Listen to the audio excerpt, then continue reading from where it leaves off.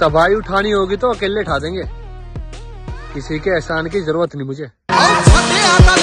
black लिखिया तेरे favourite pink pink बलिए तू